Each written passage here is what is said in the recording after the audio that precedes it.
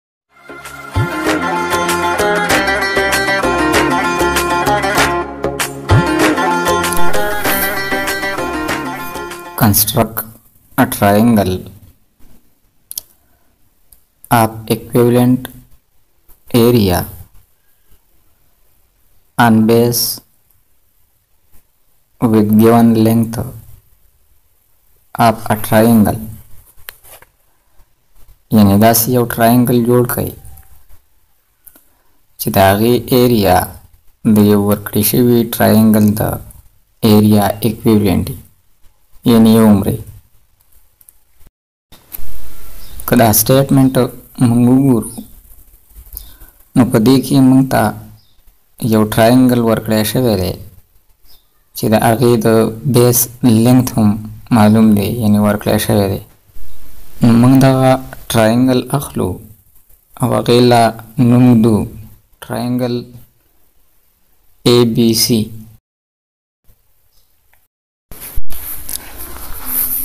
اوس داسې یو ټراینګل جوړوو چې د هغه ټراینګل ایریا او د دې ټراینګل کوم چې موږ ته دا ورکړی شوی دی یعنې ټراینګل ای بي سي چې د دې دواړو ایریا ایکویولنټ وي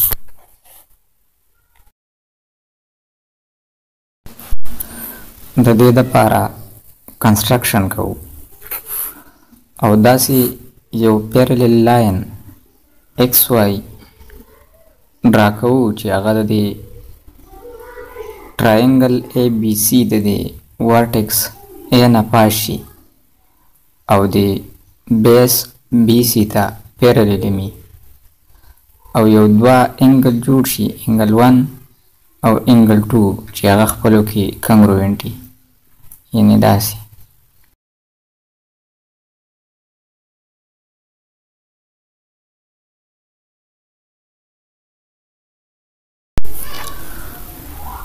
اوس په دی لاین ایکس وای باندی تاسو یو پوینټ ډی واخلئ چې هغه هر چرته اخلئ دا پوینټ ډی د پوینټ بی او سی سره کوم چې د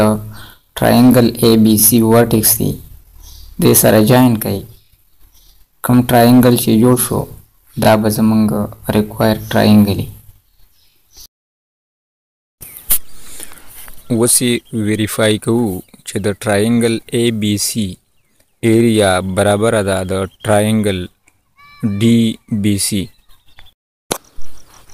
د دې دپاره موږ دا بی سی لږ نورم وغځوو سیده او د پوینټ ډي نم پې یو پرپینډیکولر ډرا کړو